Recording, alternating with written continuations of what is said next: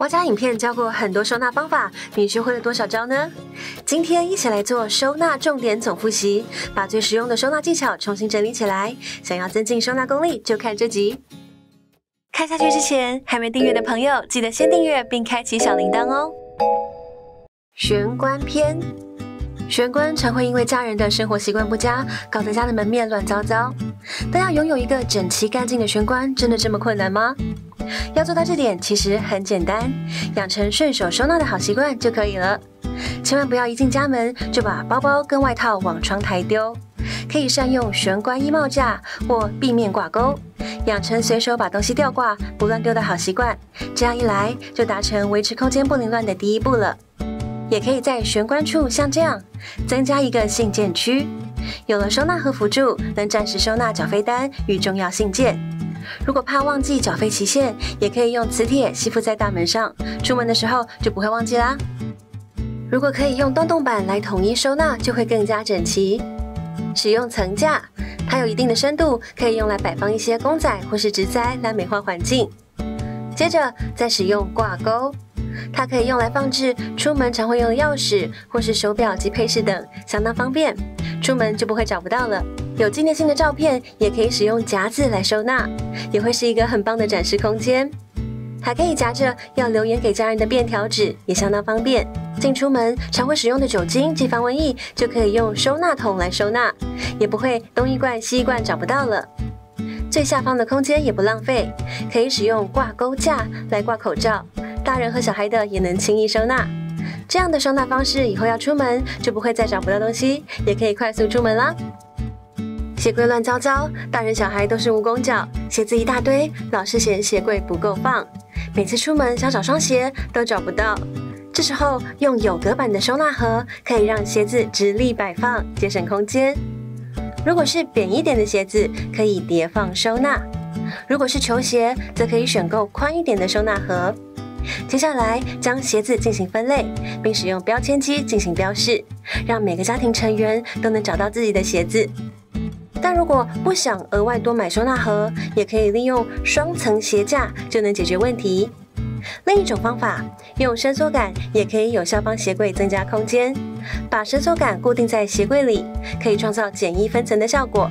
交叉斜放就可以多出一倍空间哦。客厅篇。客厅是每个家庭中最常使用的空间之一，同时也是最容易不小心堆积一堆杂物的地方，像是遥控器、指甲剪等小物品，基本上都放在这个空间。这时候可以利用这种沙发边的收纳挂袋，把常用的电视、冷气、遥控器收在这里，要拿的时候方便，也不怕乱塞找不到。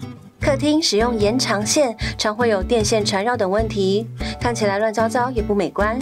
这时候使用档案盒来收纳，就可以变身为小型的充电站，把所有电线放入盒中，搭配下方的孔洞使用，可以减少电线交叉打架的情形，更容易找到自己要的那一条，也不用担心踢到电线导致危险发生。客厅的药品一堆，常常分不清楚哪些是内服，哪些是外用，也怕小孩乱拿乱吃一通。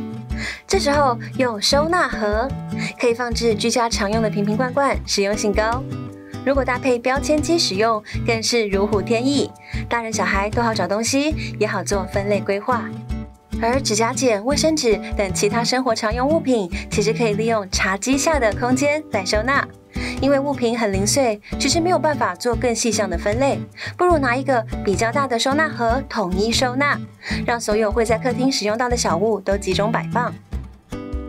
如果你家没有茶几，也别担心，我们可以用这款推车辅助，不仅有分层收纳的功能，还有上盖可以充当小台面使用。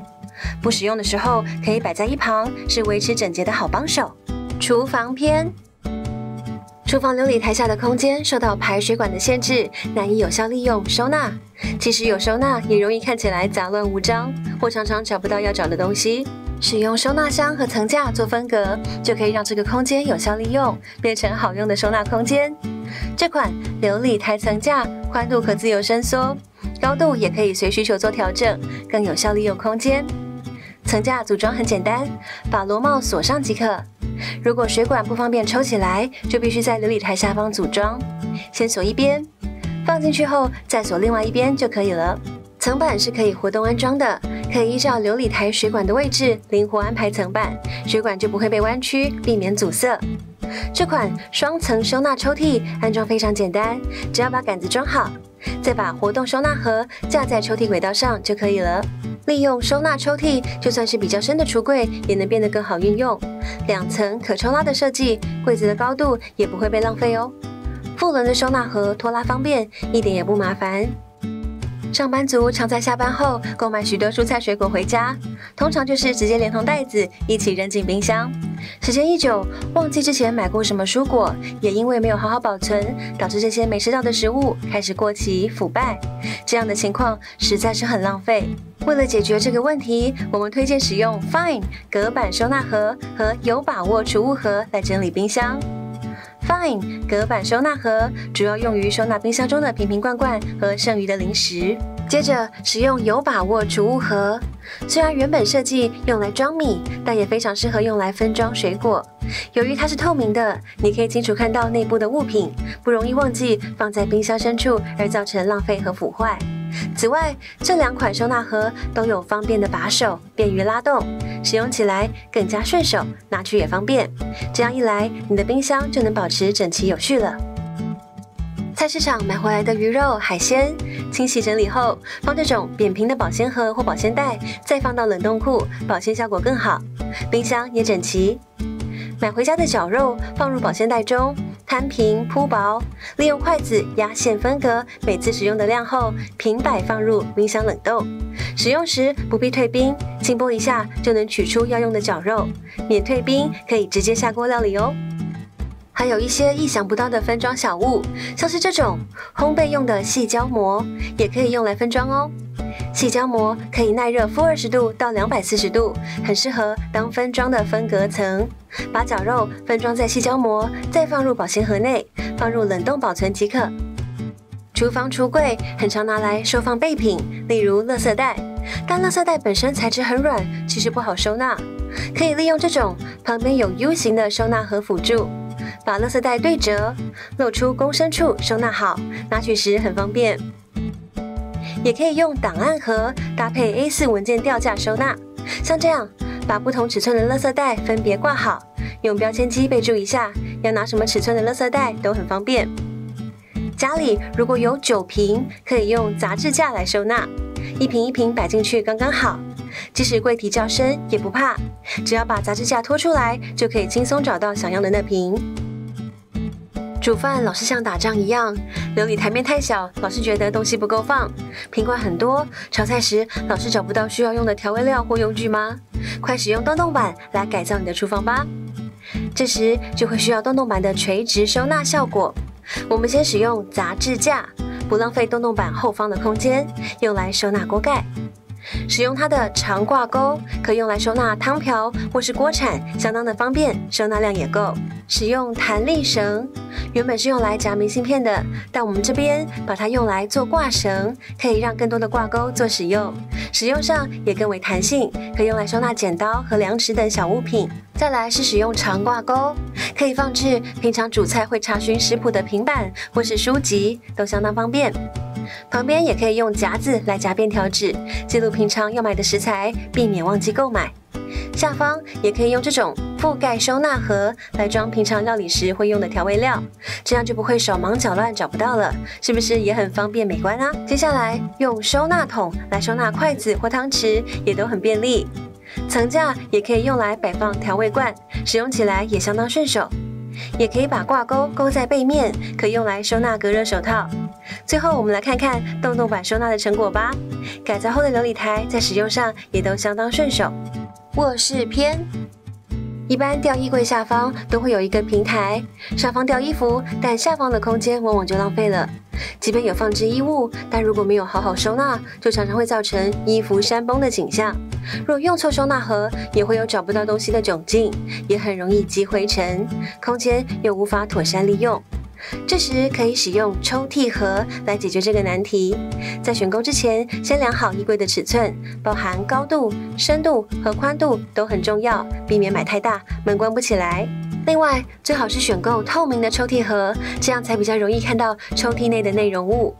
如果是亲子共用衣柜，可以使用这种有分隔的抽屉盒去收纳小朋友的衣服，更方便收纳及拿取。也可以依照你吊衣柜下方的空间去规划，如果空间足够，就可以叠到两层，甚至是三层，放置较低的抽屉盒，也比较方便小朋友拿取衣物。抽屉盒的好处就是拖拉方便，可以多放很多衣物。到了换季的时候，直接对调抽屉就可以完成换季动作，是换季收纳的好帮手。如果家里空间许可，有些冬季毛衣不想用压缩袋收纳，就可以用这种抽屉盒收纳，保持衣物的蓬松。面对空间有限的衣柜时，会遇到如何有效利用空间的困扰。有一些方法可以将衣柜最大化，同时可以保持衣物的整齐有序。在衣柜中使用挂袋，用来悬挂包包、帽子和其他小物品，这样可以节省柜内的空间，使这些物品更容易拿去。你家的衣架是不是也是这样？各种花色都有，看起来很杂乱，用久了边角还会掉漆脱落。把衣架统一之后，再把衣服依照季节、颜色分类，衣柜看上去就变得更整齐，也不会刮伤衣物。衣柜如果要整齐，除了使用对的收纳盒外，其实折法也会很重要。只要换成直立式折衣法，就可以让衣柜看起来很整齐。把衣服分成三等份，往内折，形成一个长方形。将衣服分成四等份，左右两边先向内折，再将领口那侧塞入另一侧，就完成了。这种方式折好的衣服，就算掉了也不容易散开。像这样收在收纳盒里，很整齐，也很好拿取。如果衣服不够多也没关系，可以用书挡来辅助。像这样把书挡插进去，就可以发挥作用，让衣服不会东倒西歪了。袜子如果用卷的，很容易造成袜口失去弹性；若是没有折，直接放进衣柜，很容易产生孤儿现象。整理师教一招大长包小长方法很好用，只要把袜子推到底，抓着另一只脚尖套进去就好，方便快速，可以减少很多折衣的时间。容易乱的保养品和化妆品可以用洞洞板取代化妆品柜的功能。这款桌上型洞洞板搭配洞洞板的层板配件，拿取保养品及化妆品也方便顺手。也可以把洞洞板安装在墙上做使用，把化妆用的粉底、蜜粉及口红放到层板上，桌面上留下保养品，把不同功能的用品区分开来，拿取上就会变得很直觉，不用翻找了。以上就是二零二四年收纳重点总复习。新的一年会持续为你带来更多的收纳清洁技巧、商品评测以及直击收纳达人的家。还有任何想看的居家议题，欢迎下方留言告诉我们哦。如果你喜欢今天的分享，欢迎点击下方超级感谢，用行动支持我们做更多实用的影片，也能追踪 IG 获得更多灵感哦。最后记得锁定蛙家，每周三更新，我们下周见，拜拜。